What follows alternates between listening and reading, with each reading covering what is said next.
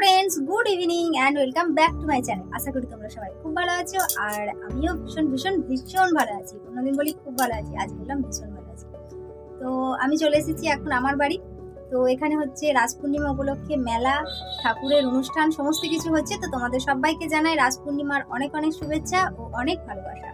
তো এখন আমি দেখো সাজুগুজু করে রেডি হয়ে গেছি। আমার সাজুগুজু মানেই এইরকমই। সিম্পল সাজুগুজু তোমরা তো দেখতে দেখতে অভ্যস্তই হয়ে গেছো, তাই না?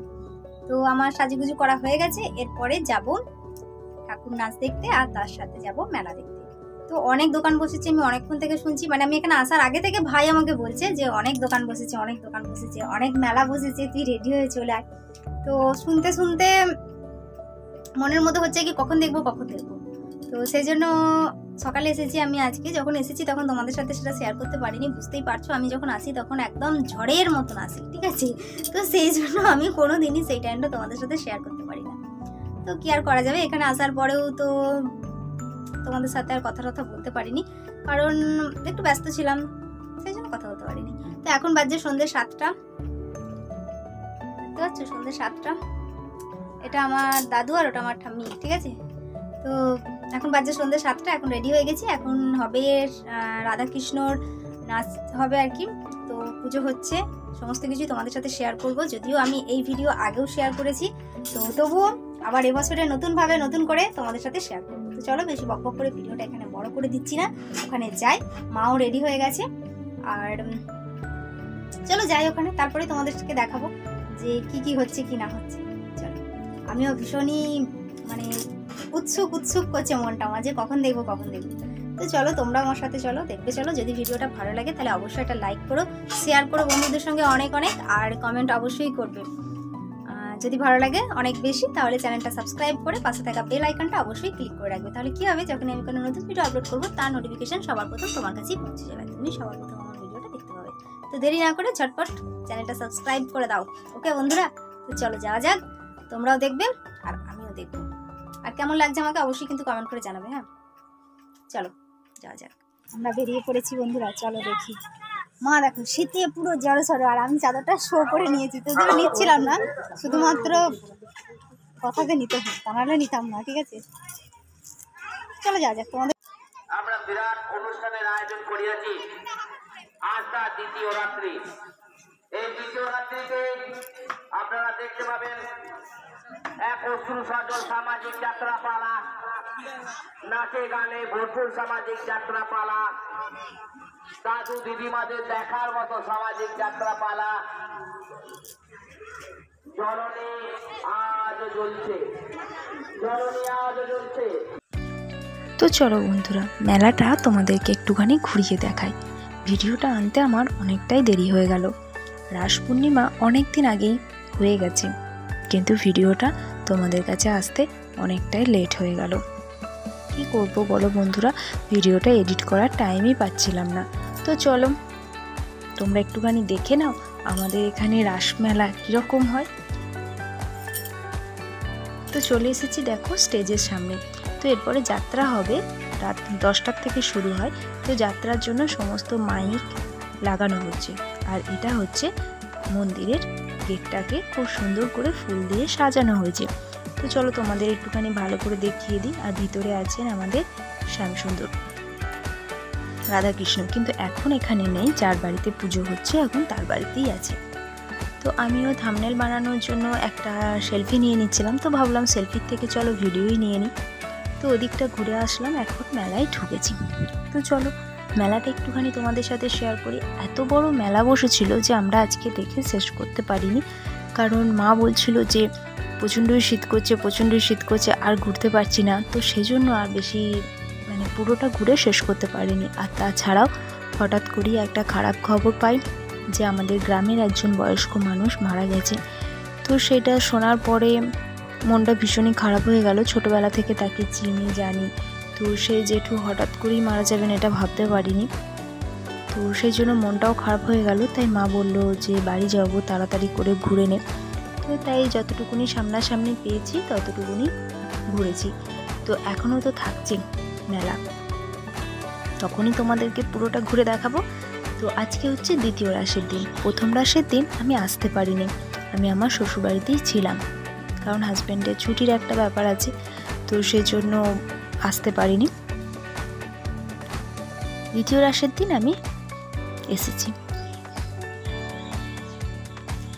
তো দেখো, এখন আমি মেলায় ঘুরছি। আর মেলা মানেই তো আমার ভীষণ আনন্দ হয়। মেলা দেখতে, মেলায় ঘুরতে আমি ভীষণ ভালোবাসি। আমি জানি অনেকেই তোমরা মেলায় ঘুরতে ভীষণ ভালোবাসো। তো এখানে দেখো, অনেক রকমেরই জিনিস আছে। আগে হরেক মাল পাঁচ টাকা ছিল। এখন আর সেটা নেই। এখন হরেক মাল পনেরো টাকা হয়েছে। এর থেকে কমে কিছুই পাওয়া যায় না। তো অনেক জিনিসই রয়েছে, ঘুরে ঘুরে দেখছি, কিছু কিছু জিনিস কিনছিও। আমি সবার জন্যই জিনিস কিনেছিলাম। মিষ্টির জন্য কিনেছি, মিষ্টির মায়ের জন্য কিনেছিলাম। কালী কালী দাদা, যার কথা তোমাদেরকে আমি আগেও বলেছিলাম, তো আমার দাদার ছেলে মেয়েগুলোর জন্যও কিনেছিলাম। তো সবার জন্যই আমি জিনিস কিনেছি। আমার নিজের জন্যও জিনিস কিনেছি। আর সব থেকে বড় কথা, এবারে আমি জিনিস কিনেছিলাম আমার সাজের জিনিসের থেকেও বেশি আমার সংসারের জিনিস কিনেছিলাম। কারণ নতুন নতুন আমি সংসার পাচ্ছি তো, সেই জন্য। কারণ আমি শ্বশুরবাড়ির থেকে এখন দুর্গাপুরে থাকছি, তো সেখানে আমার টুকিটাকি সংসারে যা যা জিনিসের দরকার, তো সেই সমস্ত টুকিটাকি জিনিস, দেখো এখানে অনেক বাটি রয়েছে, তো টুকিটাকি অনেক জিনিস আমি কিনেছিলাম। তো তোমাদের সাথে সেগুলো পরে শেয়ার করব। তো ওই দিকের মেলাটা ঘুরে আসার পরে এইদিকেও একটুখানি দেখতে আসলাম যে দিকটাতে কি কি দোকান বসেছে। তো এদিকেও অনেক দোকান রয়েছে, ঘুগনির দোকান, ফুচকার দোকান। তো এইরকম অনেক দোকানই রয়েছে। তাছাড়াও রয়েছে নাগরদোলা। আর দেখো এখানে হাতে মেহেন্দি করছে। ছোটোবেলাতে খুব বায়না করতাম, এভাবে হাতে মেহেন্দি করব বলে। এখন বড় হয়ে গেছি তো, এখন আর করি না।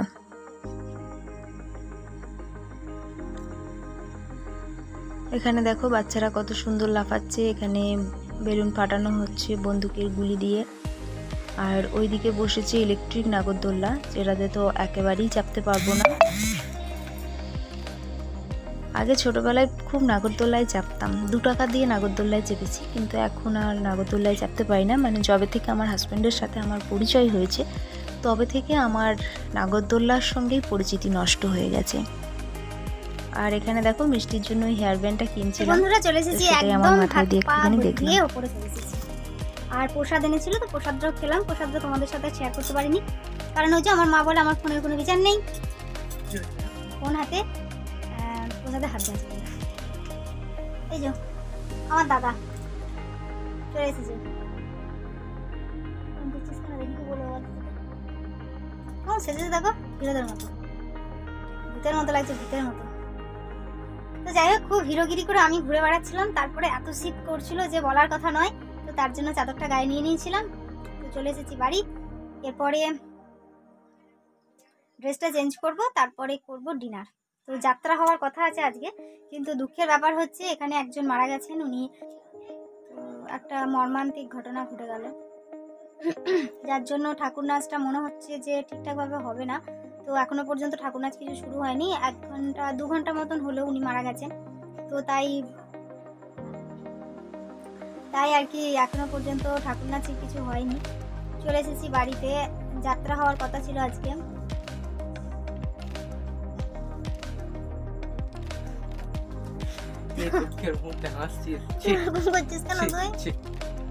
তো যাত্রা হওয়ার কথা ছিল আজকে। জানি না যাত্রা আদৌ হবে কিনা। যাত্রার নাম ছিল আজকে জননী আজও লড়ছে। লড়ছে না জ্বলছি লড়ছে জননী আজ জ্বলছে দেখি তোকে আমি যেটা লেবলেটটা দেখিয়েছি চল। মা বলল লড়ছে। মাকে তো বলেছিলাম অন্য যাত্রার পাগল মায়ের পাগলা এই যাত্রার নাম ছিল। হাঁকছিল গো মাইকে বলছিল জননী আজও লড়ছে। আমি এটা সাধারণ মানেটা বল লড়ছে আবার কি? জ্বলছে। যাই হয়তো আমি ভুল শুনেছি জানি না। তো এটা যাত্রা ছিল। যাত্রা দেখার জন্য ভেবেছিলাম তো যাত্রা দেখার জন্য মানে বস্তা পাতবো ভেবেছিলাম, ঠিক আছে? তো বস্তার পাতিনি, কারণ এরকম একটা ঘটনা ঘটে গেল, তো তারপরে আদৌ কি যাত্রা হবে? তো এটা ভেবেই আর বস্তা পাতিনি। তো যদি দেখি যে যাত্রা হচ্ছে, তখন যাব একবার দেখব, আর না হলে তো কিছু করার নেই। আর আমার হাজব্যান্ড এখনও আসেনি। নটা দশ বাজছে এখনও আসেনি। তো দেখি কটার সময় আসে। দুপুরের দিকে ডিউটি দুটো থেকে দশটা। এখনও তো কাজ হয়নি কাজে। গলাটা না কীরকম হয়ে যাচ্ছে, এই যে মেলাতে ঠান্ডায় ঠান্ডায় ঘুরলাম, তার রেজাল্ট এক্ষুনি এক্ষুনি পেয়ে যাচ্ছি। দেখছ, কত তাড়াতাড়ি রেজাল্ট পেয়ে দিচ্ছে আমাকে। তো যাই হোক, চলো যদি যাত্রা দেখতে যাই, তাহলে অবশ্যই তোমাদেরকে সাথে নিয়ে যাব। আর সেটা তোমরা অন্য একটা ব্লগের মধ্যেই দেখতে পাবে। এই ভিডিওটাকে আমি এখানেই স্টপ করে দিচ্ছি। আজকের ব্লগটা এইটুকুনি থাকবে। মেলার ব্লগ এটা হ্যাঁ। তো আজকেরটা এইটুকুনি থাকুক। তোমাদের সঙ্গে দেখা হচ্ছে আমার আবার নেক্সট ভিডিওতে ততক্ষণ সবাই ভালো থাকো, সুস্থ থাকো সবসময় হাসি মুখে থাকো। অবশ্যই কিন্তু চ্যানেলটা সাবস্ক্রাইব করে রাখবে। তাহলে পরবর্তী ভিডিওগুলো তোমরা অনায়াসেই নোটিফিকেশান পেয়ে যাবে। ঠিক আছে? তো চলো। খুবই খারাপ লাগছে, উনি মারা গেছেন। ভালো লাগছে না একদমই। কারণ আমাদের গ্রামেরই মানুষ, উনি বয়স্ক মানুষ, ওনাকে চিনি। তো কি হয়েছিল জানি না। কেন সুসাইড অ্যাটেম্প করলেন সেটাও জানি না। তো ভর্তি ছিল হাসপাতালে। হঠাৎ করেই শুনতে পেলাম যে উনি মারা গেছেন। তো ঘণ্টা দুই হলো উনি মারা গেছেন। খারাপ লাগছে ভীষণই, কিন্তু কিছু করার নেই, ওই জন্য মাইকটাও বন্ধ হয়ে গেছে। এখানে স্টপ করে দিচ্ছি। দেখা হচ্ছে আবার নতুন কোনো ব্লগের সাথে। সবাইকে good night sweet dreams love you all সবাই ভালো থেকো, সুস্থ থেকো। টাটা। Tata love you